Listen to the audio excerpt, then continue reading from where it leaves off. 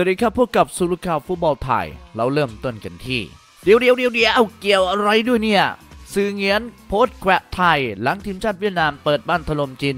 3-1ตอนนั้นแฟนบอลเวียดนามแห่คอมเมนต์เพียบ สื่อเหงียนลั่นนะครับผลงานดีกว่าไทย แฟนบอลเวียดนามแห่คอมเมนต์หลังเวียดนามถล่มจีน 3 ประตูต่อหนึ่งวันนี้เรามาส่องคอมเมนต์แฟนบอลเหงียนหลังจากทีมชาติเวียดนามอัดทีมชาติจีน3-1 ในศึกฟุตบอลโลกรอบคัดเลือกโซนเอเชียรอบที่ 3 เรียกได้ว่าได้เวลาที่พวกพี่ๆเหงียนๆนะฮะเขาจะได้เจอชัยกันสักที หลังจากเฝ้ารอด้วยความอดทน จนมาถึงเกมที่ 8 ในศึกคัดฟุตบอลโลกโซนเอเชีย รอบ 3 โดยเจ็ดเกมก่อนหน้านี้ทีมชาติเวียดนามยังหาชัยชนะไม่เจอ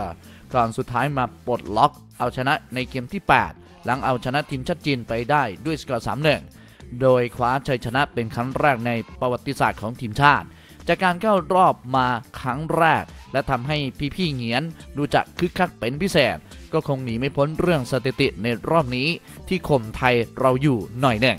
จากชัยชนะนัดล่าสุด เพราะไทยเราเข้ารอบ3มา2ครั้ง ยังไม่เคยชนะเลยสักครั้งเดียว โดยไทยเข้ารอบมาในปี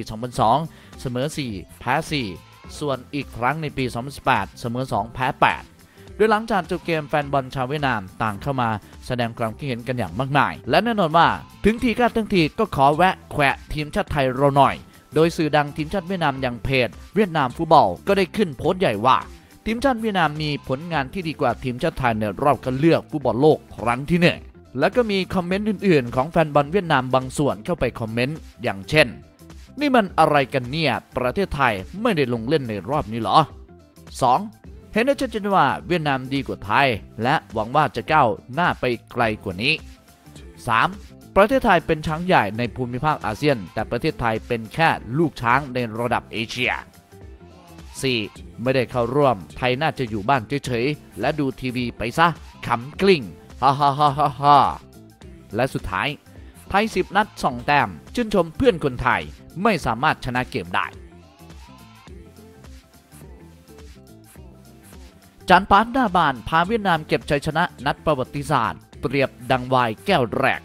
ชัยชนะของชาวอาเซียนทุกท่านปาร์คฮังซอนะครับโวลั่นนี่คือชัยชนะของชาวอาเซียนทุกคน หลังเวียดนามเปิดบ้านทุบจีน3-1มา3แต้มสำคัญเป็นของขวัญให้กับชาวเวียดนามและชาวอาเซียน พร้อมกับได้ 3 คะแนนแรกในประวัติศาสตร์ฟุตบอลโลกโซนเอเชียรอบที่ 3 อีกด้วยควันหลงเน้นจากศึกฟุตบอลโลก 2022 รอบคัดเลือกโซนเอเชียนัดที่ 8 ของกลุ่ม B ที่สนาม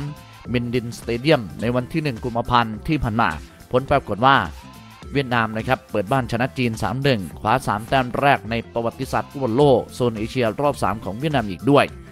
โดยอาจารย์ปาร์คนะครับปาร์คฮังซอกุนซือชาวเกาหลีใต้ของทีมชาติเวียดนามกล่าวว่า นี่คือชัยชนะนัดแรกของพวกเราและชาวอาเซียน หลังเข้าสู่รอบคัดเลือกรอบ 3 ฟุตบอลโลก ก่อนนี้นี่เราแพ้มา 7 นัดเราถูกวิจารณ์หนัก แต่ทุกคนก็สู้ไม่ท้อและสู้เต็มที่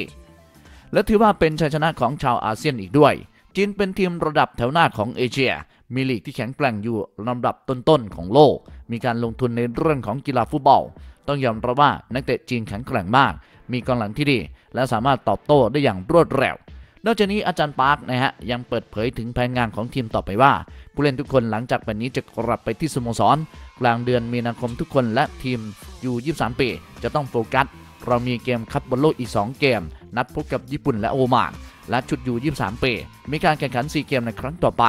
ผมจะรับผิดชอบเอง จนจบ 4 เกม ตอนนี้ผมคุมทีมชาติอยู่ เหลือ 2 นัดคือ 4 เกมและ FA คัพปลายปีนี้ ผมคิดว่าชาวเวียดนามและแฟนบอลคาดหวังผลการแข่งขันในครั้งนี้มากเกินไป เป็นเวลา 60 ปีแล้วที่เราเข้าสู่รอบคัดเลือกนี้ วันนี้เราได้คะแนนเป็นครั้งแรก ถ้าเปรียบชัยชนะในนัดนี้ก็เหมือนเป็นวายแก้วแรกที่ทุกอย่างต้องใช้เวลา เวลานี้ทุกคนทำเต็มที่แล้ว แต่การขอให้ทีมชนะตลอดเวลาเป็นการคาดหวังมากจนเกินไป เราควรจะตัดสินอนาคตด้วยความพยายามของนักเตะ แทนที่จะตัดสินโดยชัยชนะ เมื่อเราไม่ชนะมีคนกลับไปวิจารณ์พวกเราโดยสำหรับโปรแกรมของทีมชาติเวียดนาม ในนัดต่อไปมีคิวตอนศึกฟุตบอลโลก 2002รอบคัดเลือกโซนเอเชียนะครับ โดยการเปิดบ้านต้อนรับการมาเยือนทีมชาติโอมานในวันที่ 24 มีนาคมนี้นะครับ โอ้โห โคตรตาก เก๊กหล่อเลยทีเดียว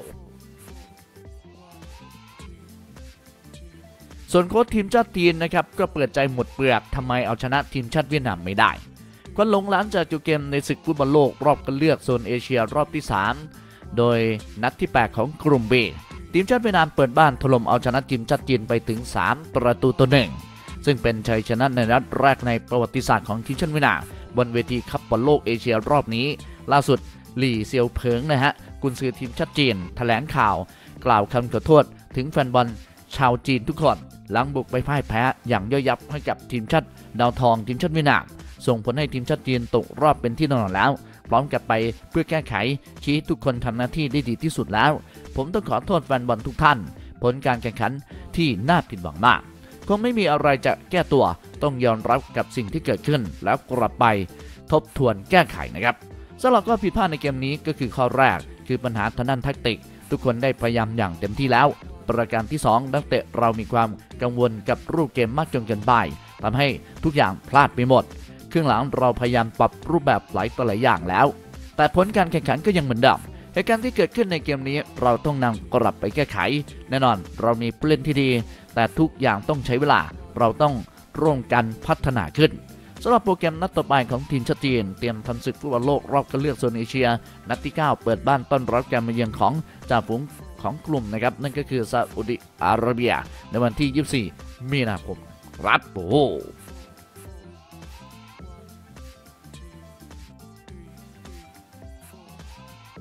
กระหึ่มอาเซียน แมนยูลิเวอร์พูลศึกแดงเดือดที่ราชมังคลากีฬาสถานศึกแดงเดือดแมนยูดวลลิเวอร์พูลในเมืองไทยในวันที่ 12 กรกฎาคมนะครับ สิ้นสุดการรอคอยศึกแดนเดือดนอกเกาะอังกฤษแมนยูปะทะลิเวอร์พูลที่เมืองไทยกำลังจะเกิดขึ้นแล้วจริง ๆ ไม่ใช่ความฝันนะครับ โดยเพจ BG บางประกงนะครับก็ได้ยืนยันว่าฟุตบอลคู่หยุดโลกในครั้งนี้กำหนดจัดขึ้นที่สนามกีฬาราชมังคลากีฬาสถานในวันที่ 12 กรกฎาคม โดยการดำเนินการทั้งหมดนะครับบริษัทเฟรชแอร์ของเสี่ยวินิจเลิศรัตนชัย เป็นผู้ลงทุนจัด ซึ่งจะมีการเซ็นสัญญากับทั้งสองสโมสรภายในสัปดาห์นี้ และต้นเดือนหน้าโดยจะมีการเปิดงานแถลงข่าวอย่างยิ่งใหญ่อย่างเป็นทางการในเดือนมีนาคม โดยทั้งปีศาจแดงและหงส์แดงจะส่งผู้บริหารของสโมสร และตัวแทนนักเตะที่เป็นทูตของสโมสรมาร่วมแถลงการณ์อย่างพร้อมเพรียงสำหรับแมนยูมีการยืนยันแล้วว่าจะมีกัปตันมาเวลไบอันโรบสันเดินทางมาแถลงที่เมืองไทยอีกด้วยอย่างแน่นอนนะครับ โอ้โหได้มันแล้วล่ะครับท่านผู้ชม นี่คือสรุปข่าวฟุตบอลไทยนะครับท่านผู้ชมเป็นรอบเช้าของวันที่ 2กุมภาพันธ์